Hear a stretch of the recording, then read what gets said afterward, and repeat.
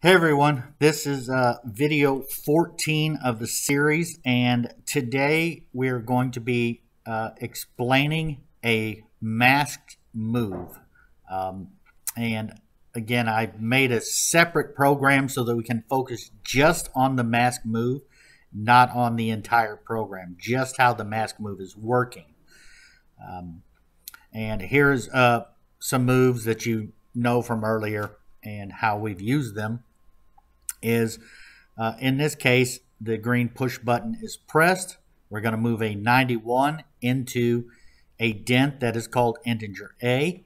We're also going to move a 47 into uh, integer that is called masked integer. So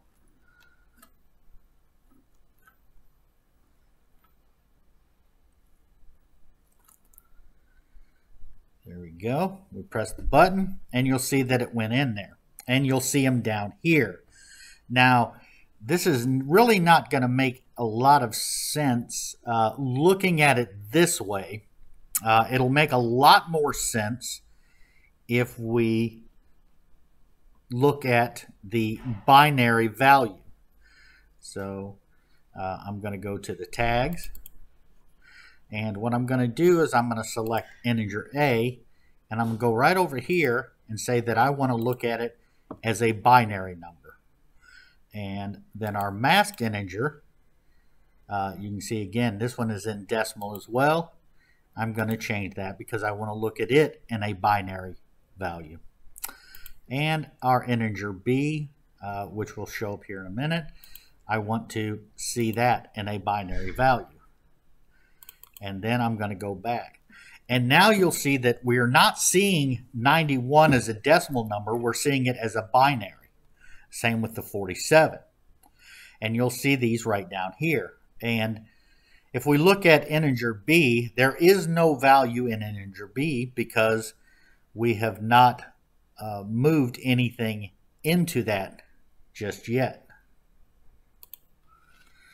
Okay, so we have pressed the green button that moved a 91 into A, and there's the binary, and also moved a 47 into the masked integer, which is this one right here. And there's the binary. And you'll see that they showed up down here. Now, how a mask move is working, the easiest way to explain it is when we run integer A through the mask, if it is a 1, it allows the value to come on through. If it is a 0, then it blocks the value. So just looking at this one right here, we don't have to worry about any of this up here because these are all zeros. We're not doing anything with it. Uh, this one right here. We have a 0 in our integer. We have a 0 in our mask. So that is going to block that 0 and since there is a zero here already, it's just going to let that stay. Same with the next one. So the next one is a 1 right here. The mask is a 0, so it's going to block that 1. And it is going to leave this one down here as a 0. The next one over.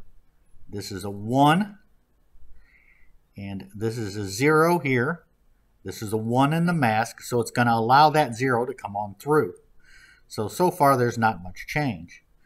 And then the there is a 1 in integer A, a 0 in the mask, so it's going to block that. So this uh, these bits right here are not going to change.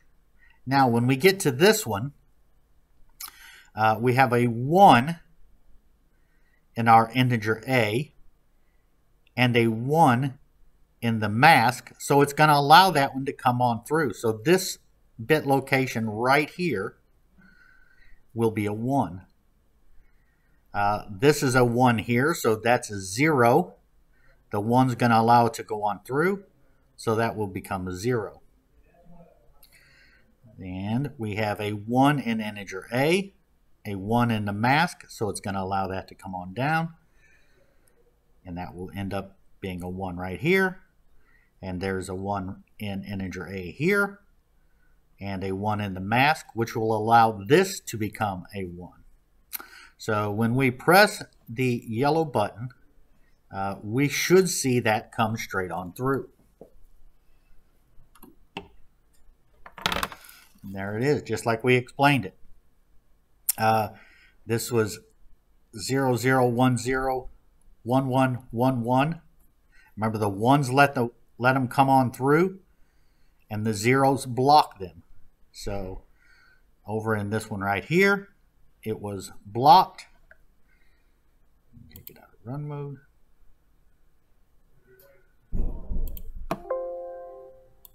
There we go. So it won't, it, now it's still popping up.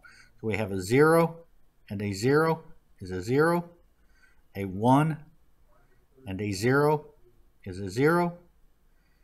We have a zero and a one becomes a zero because it lets it go on through. And then this last one is a one and a zero and the mask, so it blocks it. And then when we get to this one, these are all ones, so it lets everything up here come straight on through. And that is how the mask move is working. And uh, stay tuned, we're going to make a few more videos to this series, and hopefully it helps you out.